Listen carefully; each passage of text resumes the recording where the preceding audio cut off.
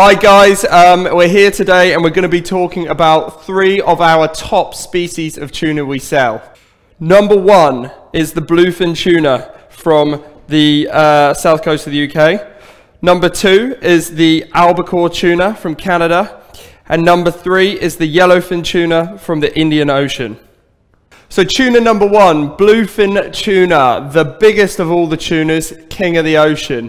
One of the things that we often get asked is, why is bluefin tuna so expensive? In reality, a lot of that is a bit of hype. Uh, it gets a reputation for being a million dollar fish uh, because on the first bluefin tuna market in Japan of the season, uh, it's a bit of bragging rights for who will pay the most for the number one bluefin tuna to open up the season. As you can see, the actual colour of the bluefin tuna does change from where the fish is cut. This outer bit here is uh, lighter because it has a higher fat content and would be softer and creamier to eat than the, the redder, more fleshy muscle in the center of the fish. Um, as you can see here, I cut across the grain on the tuna, which will lead to uh, the best texture when eating the fish. As you can see, the grain runs down here. How big do bluefin tuna get? Well, the world record, I believe, is somewhere around 650 kilograms. Now, that is a monster of a fish. They don't usually get that big, but we do frequently see bluefin tuna up to 250 kilograms. Now to try it. Mmm, lovely. So tuna number two, the albacore tuna, one of the smaller species of tuna, growing up to about 35 kilos on a, on a nice big size.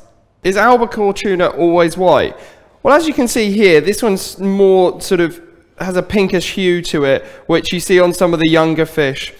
Albacore tuna tends to be known as a white fish because a lot of it ends up being canned, and the albacore in the can are cooked, therefore they are white. How is albacore tuna commonly eaten? Well, number one's got to be in a tin.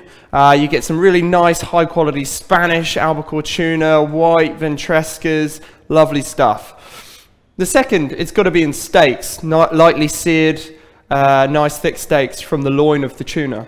And the third, and perhaps the most uh, on the rise in popularity right now, is sushi and sashimi albacore tuna. Probably a lesser known tuna to be used for this, but definitely a really tasty one. And I'm looking forward to uh, giving it a try in a moment. So now to try the tuna.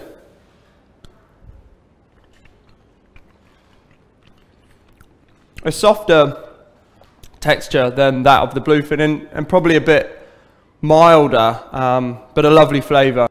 And so finally, uh, the third tuna today is the yellowfin tuna, and possibly the most popular tuna that we sell. You'll see that this yellowfin tuna saku block is perfectly rectangular. It's been cut with a machine in order to keep it frozen during preparation. Means that it can stay at minus 60, which is the best for retaining the colour, taste and texture of the tuna. Why is yellowfin sometimes referred to as ahi? Ahi, which itself means fire, was first coined for yellowfin by ancient Hawaiian fishermen who used hand lines and longline methods to catch the fish from canoes. So it's an old Hawaiian name for a great fish.